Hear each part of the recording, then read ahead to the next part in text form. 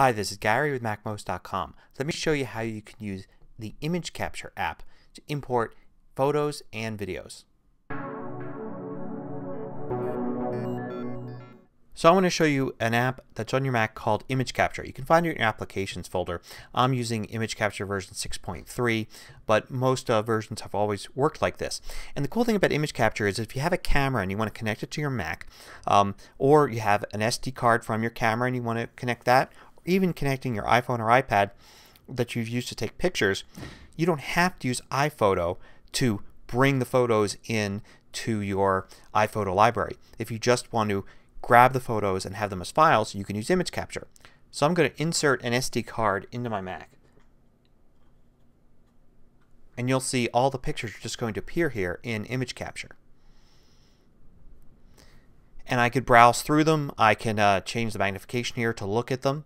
Um, I can select them here and when I select one I can hit the import button to bring it in. I can select multiple ones and import those or I can sim simply import them all from the camera. Or better still, I can simply drag and drop from image capture to the Finder. I'm going to drag to the desktop here, but I could easily drag it to a folder uh, in a Finder window as well. So you can see how easy it is to, to grab those photos. The same is true for videos. Here I've got a video and I can grab that and drag that out as well. Not only that, but image capture does something really cool. I can delete a photo. I can select it or select more than one and I can hit this delete button to get rid of it from the uh, from the SD card or camera or iPhone. I'm going to do that right here and without ever having to import it or anything. Uh, so it, it's a great tool to be able to really uh, manipulate the, these photos as you want. You can also view things in a list view here and it shows you all sorts of information about the individual photos. And this is before you've even imported them. They're still just sitting on the card or on your phone.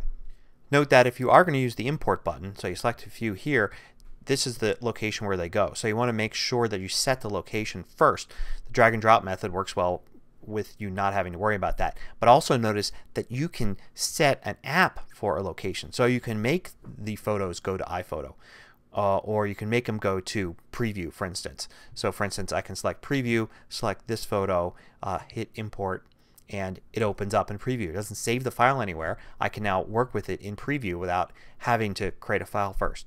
I can even select mail as the destination and when I import the photo it creates a new message with that photo in it. So it's going right from the card or the camera directly into an email message. Image capture even works with multiple devices connected at the same time. So I've just plugged in my iPhone and I can switch to it and see the photos in there and do the same thing here. I can select a bunch and delete them. So especially now that you can use burst mode, take tons and tons of pictures very quickly, uh, it's interesting to be able to use image capture to quickly go through the photos on your iPhone and just delete the ones that uh, you don't want to keep and then import the ones or just drag and drop the ones that you want to keep uh, without ever having to use iPhoto or Aperture or any other software.